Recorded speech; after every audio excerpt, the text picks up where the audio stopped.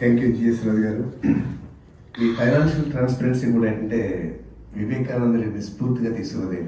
అంటే కొద్దిగా సమయం ఉన్నా కొద్దిగా మనకి ఏంటంటే మన అవేకినింగ్ మెంబర్స్ కన్నా తెలియాల్సిన విషయం. పద్దెనిమిది వందల తొంభై ఏడు వివేకానంద రామకృష్ణ మిషన్ స్టార్ట్ చేసిన తర్వాత బ్రహ్మానంద అని చెప్పి ఆయన ప్రథమ అధ్యక్షుడిగా చేశాడు. చేసిన తర్వాత అక్కడి నుంచి తీసుకొచ్చిన ల్యాక్స్ ఆఫ్ రూపీస్ అన్ని కూడా ఏంటంటే రామకృష్ణ మిషన్లో ఇచ్చేయండి డిపాజిట్ చేయమని చెప్పి అది చేసి బయటకు వచ్చిన తర్వాత మరి టెస్ట్ చేయడానికో మనందరికీ నేర్పడానికో మళ్ళీ వివేకానంద ఏంటంటే మళ్ళీ బ్రహ్మానంద దగ్గరికి వెళ్తాడు.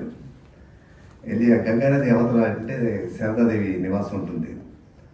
అమ్మ శారదని చూడాలనుంది డబ్బులు లేవు నా దగ్గర లాంచీ దాటాలంటే ఐదు పైసలు ఉంటుంది నీ దగ్గర ఏమైనా డబ్బులు ఉన్నాయని అడుగుతాడు బ్రహ్మానందని బ్రహ్మానంద ఆశ్చర్యంగా చూసి నవ్వుతాడు.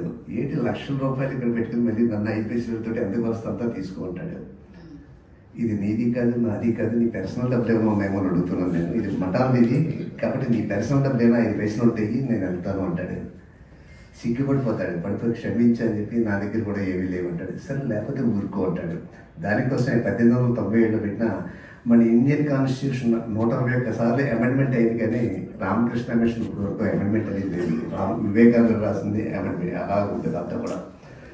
ఏది కూడా ఇంకా ట్రాన్స్పరెన్సీ మెయింటైన్ చేస్తుంటారు అట్లాగా ఎంత ట్రాన్స్పరెంట్ అంటే ఒకసారి లత్తూరు భూకంపం వచ్చినప్పుడు నేను ఫిఫ్టీన్ థౌజండ్ పంపించాను ఆ రోజుల్లో లత్తూరు భూకంపం వచ్చింది కదా పదిహేను రోజులకు మళ్ళీ రిజిస్టర్ పోస్ట్ వెనక్కి తిరిగి వచ్చేసింది నాకు డీడీ తిరిగి వచ్చేసిన తర్వాత నేను అడిగాను ఇదేంటి తీసుకోలేదంటే నువ్వు అక్కడ మెన్షన్ చేయలేదు హెడ్ ఆఫ్ అకౌంట్ మాకు చాలా ఉన్నాయి అక్కడ యుటెన్సిల్స్ కొని ఉన్నాయి గ్రాసరీ కొన్ని ఉన్నాయి బిల్డింగ్ కన్స్ట్రక్షన్స్ ఉన్నాయి.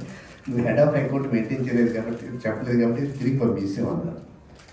అంటే మీ ఇష్టం దేనికైనా ఖర్చు పెట్టుకోవడం పర్లేదు అన్నాను అలా మేము తీసుకోమన్నారు.